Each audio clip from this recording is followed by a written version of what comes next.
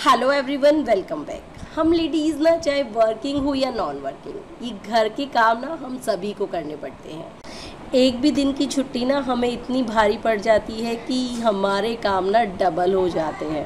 अब आप मेरे ही घर की हालत देख लीजिए। गई थी कुछ दिनों के लिए मम्मी के यहाँ, और जब वापस आई हूँ ना तो घर का हाल कुछ इस तरह से है। आप लोग रिलेट कर ही सकते हैं। कोई भी चीज़ अपनी जगह पर मिल ही नहीं सकती। आप लोग कमेंट बॉक्स में मुझे भी बताइएगा कि आप लोगों के साथ में भी सेम यही सिचुएशन होती है कि समझ में ही नहीं आ रहा कि काम कहाँ से शुरू करूँ। But anyways this is the part of life सबसे पहले की पेट पूजा बनाया, सबसे पहले मैंगो शेक ये सारे फ़ूड कंटेनर्स जो मेरे पीछे इन्होंने खाना मंगाया होगा।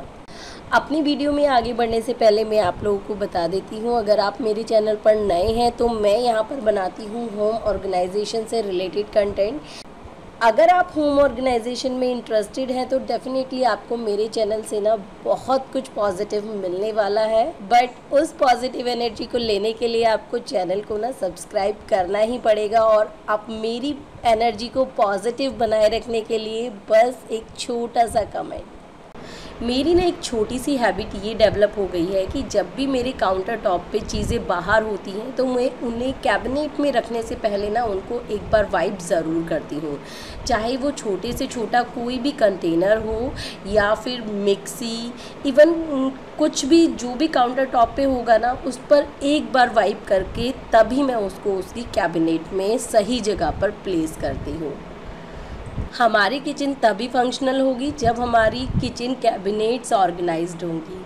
और किचन कैबिनेट्स को ना टाइम टू टाइम ऑर्गेनाइज करते रहना, सही तरीके से चीज़ों को प्लेस करना बहुत ज़रूरी है अपनी नीड के अकॉर्डिंग जब हम अपनी किचन को प्रॉपर तरीके से क्लीन करते हैं तो नो डाउट हमें डेली जो हम टाइम लगाते हैं अपनी किचन की क्लीनिंग में, उससे हमें थोड़ा सा कहीं ज़्यादा टाइम लगता है।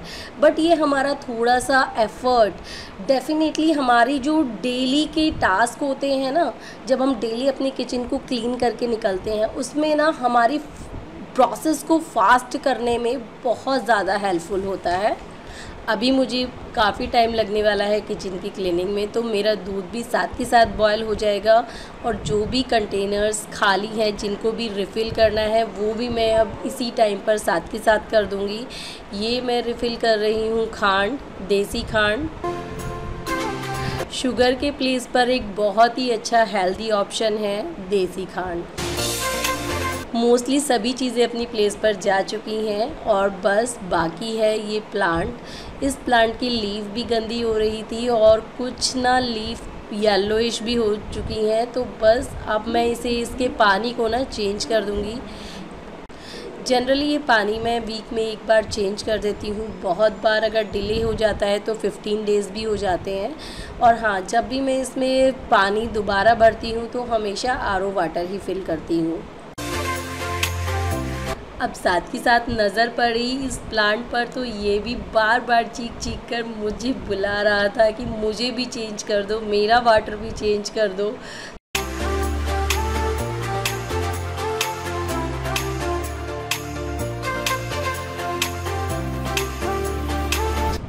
ये टाइम है नून का और अब बारी है लंच की। तो लंच में मैंने आज कुछ स्पेशल कह दीजिए बट बहुत ही फ्रिक्वेंटली बेसिस पर मैं इसे बनाती हूँ।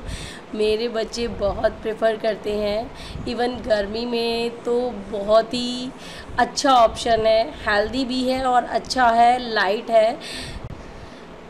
चलिए, मैं आपको डायरेक्टली नहीं बताती हूँ। आप लोग देख कर के बताइएगा कि क्या बनाया है मैंने ये। बट अभी आप जो देखने वाले हैं ना, उससे डायरेक्टली आप गैस कर सकते हैं। अब तो आप डेफिनेटली गैस कर ही लेंगे कि मैंने क्या बनाया है। अगर आपने पहले गलत गैस किया है तो भी मुझे कमेंट बॉक्स में बताइएगा और सही गैस किया है तो भी मुझे कमेंट बॉक्स में ज़रूर बताइएगा। फ्रेंड्स ये आप लोगों का प्यार ही है जो मुझे वापस दोबारा से ना आप लोगों की तरफ़ खींच करके लेकर के आया है। और आशा करती हूँ आप लोगों का ये प्यार मेरे साथ में इसी तरह से बना रहे।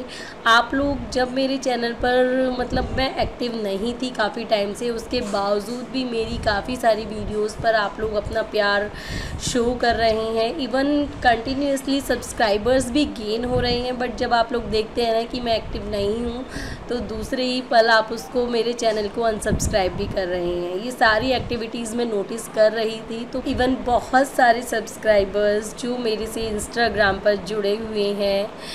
वो लोग भी बार बार पूछते हैं कि आप वीडियोस क्यों नहीं बना रहे हो? तो फिर मुझे लगा कि नहीं, मुझे वापस आना चाहिए। दोबारा से ना सारी चीज़ें स्टार्ट करना यूट्यूब पर बहुत ज़्यादा मुश्किल होता है बट फिर भी आप लोगों की प्यार ने ना मुझे ये हिम्मत दी कि मैं दोबारा से अपने चैनल पर एक्टिव हो गई हूँ। डेफिनेटली अब आपको निराश नहीं करूँगी। हाँ बट आपसे भी एक रिक्वेस्ट है, आप भी मुझे अपना प्यार उसी तरह से दीजिएगा जैसे आप लोग पहले देते थे। इवन वीडियोस को ज़्यादा से ज़्यादा शेयर करिएगा लाइक करिएगा कमेंट करिएगा। क्योंकि जब आप अपना लाइक और कमेंट शो करते हैं ना तो तभी मैं फील कर पाती हूँ कि आप लोग मुझसे कनेक्टेड हैं। चलिए, जल्दी ही मिलती हूँ एक नई वीडियो के साथ में। Till then bye